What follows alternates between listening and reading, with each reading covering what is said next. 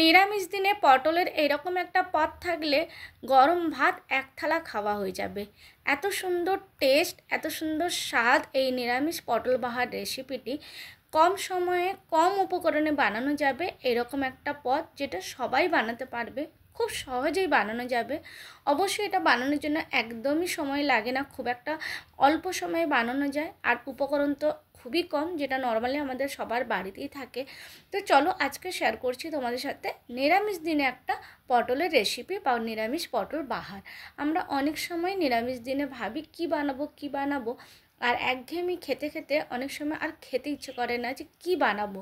তো নতুন কিছু যখন ইচ্ছা হয় তখন কিন্তু অবশ্যই এটা বানিয়ে খাওয়া যেতে পারে। যারা বানিয়ে খেয়েছো তারা অবশ্যই জানো এর টেস্ট কেমন। তবে হ্যাঁ খুব সুন্দর লাগে খেতে।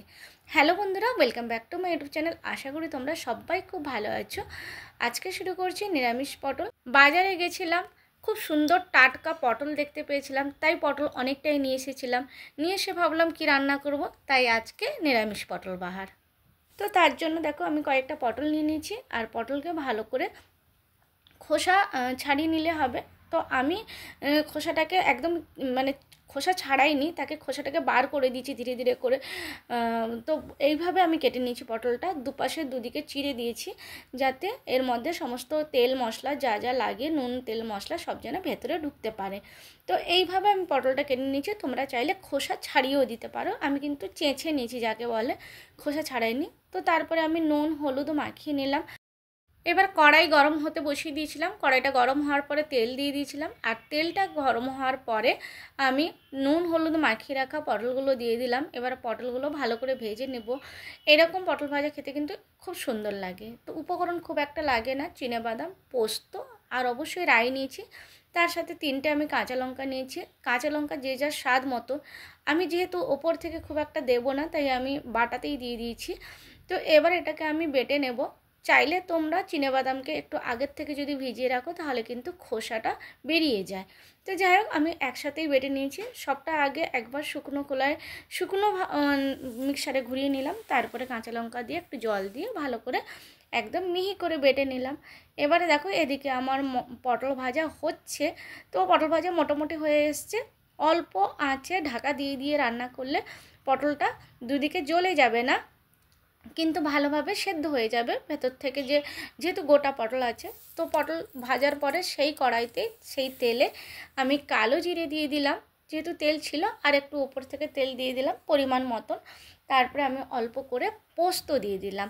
তো কালো জিরে আর পোস্ত দিয়ে অবশ্যই অল্প আঁচে ভাজবো। একটুখানি দু, এক মিনিট ভাজার পরে আমি যে বেটে রেখেছিলাম পোস্ত রায় আর চিনে বাদাম আর কাঁচা লঙ্কা, সেই পোস্ত বাটা আমি দিয়ে দিলাম। এবার একটু ধুয়েও জলটা দিয়ে দিলাম। গ্রাইন্ডারে একটু ধুয়ে জলটা দিয়ে দিয়েছি, যেহেতু অনেকটা লেগে থাকে। তো যাই হোক, এবার এক একটা করে মশলা দিয়ে দেবো, নুন দিয়ে দিলাম, তারপরে লঙ্কা গুঁড়ো, হলুদ গুঁড়ো। এবার লঙ্কা গুঁড়ো তোমাদের যে যা পরিমাণ মতো কারণ অনেক সময় একটু কেউ কম খায়, কেউ বেশি খায়। তো যাই হোক, আমি যেহেতু কাঁচা লঙ্কা দিয়েছি, সেটাও মাথায় রাখতে হবে। তো ওই জন্য গুঁড়ো লঙ্কা আমি অল্পই দিয়েছি, খুব একটা দিইনি। এবারে ভালো করে নাড়াচাড়া করে নিচ্ছি। নাড়াচাড়া ভালো করে করতে করতে দেখবে এর মধ্যে থেকে একটা তেল ছাড়বে। এটা সবাই তোমরা কম বেশি জানো, তাও বলে দিলাম। এবারে তেলটা যখন ছেড়ে এসছে, তখন আমি ভেজে রাখা পটলগুলো দিয়ে দিলাম। পটলগুলো অলরেডি আমার অল্প আঁচে ঢাকা দিয়ে দিয়ে ভেজেছিলাম বলে অলরেডি আমার মোটামুটি সেদ্ধ হয়ে গেছে। তো যাই হোক, এবারে মশলাটা যে আছে সেটা যেন তার ভিতরে ঢুকে যায়, সেই জন্য নাড়াচাড়া করলাম। এবার এই রকম খেতে কিন্তু খুব সুন্দর লাগে। তোমরা অনেকেই চাইলে কিন্তু এভাবেও খেতে পারো, আবার চাইলে জল একটু দিয়ে দিতে পারো। তো আমার কিন্তু এভাবেও ভালো লাগে, আবার জল দিয়েও ভালো লাগে। তো এবারে আরেকটু নাড়াচাড়া করে নিলাম, আরেকটু চিনি দিয়ে দিলাম। চিনি দিলে একটু মিষ্টি মিষ্টি ব্যালেন্স হয়। আমরা একটু চিনি দিই, তাই একটু চিনি দিয়ে দিলাম। দেখো, তেলটা আমার মোটামুটি ছেড়ে গেছে। তবে এইরকম খেতে সত্যিকারে ভীষণ টেস্ট হয়, খুবই সুন্দর লাগে। কিন্তু যা, অনেকে আছে যারা শুকনো শুকনো খেতে পারে না, তো তারা অবশ্যই একটু জল দিয়ে দিতেই পারো। অল্প জল, বেশি নয়। আর গরম জল দিলে বেশি ভালো হবে। তো যাই হোক তোমাদের ইচ্ছা মতন তোমরা দিতে পারো, গরম জল দিতেও পারো, আবার শুকনোও খেতে পারো। তো যাই হোক, এবার আমি হয়ে গেলে নামিয়ে দিয়েছি। খেতে খুব সুন্দর হয়েছে, দারুণ লেগেছে খেতে।